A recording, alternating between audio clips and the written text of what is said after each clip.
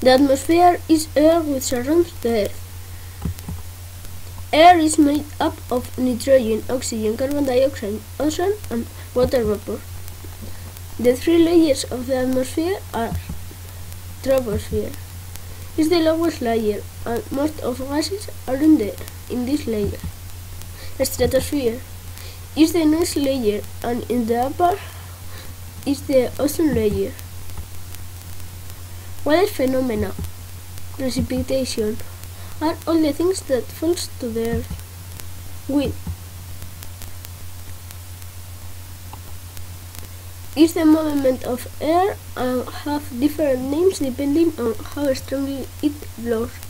I hope you understand and you like it. Bye bye!